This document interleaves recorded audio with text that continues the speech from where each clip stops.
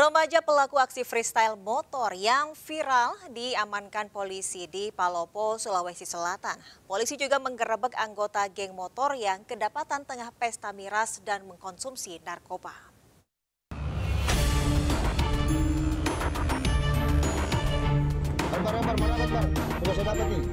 Pelaku atraksi freestyle yang ugal-ugalan yang meresahkan warga akhirnya dibekuk unit lalu lintas Polres Palopo. Di lokasi berbeda, tim sus presisi Polres Palopo juga menggerebek lokasi tongkrongan sekelompok anggota geng motor.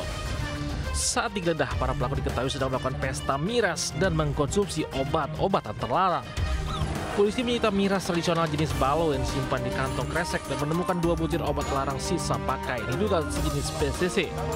Para pelaku kemudian digelandang ke Mapores Palopo dengan membawa motor masing-masing.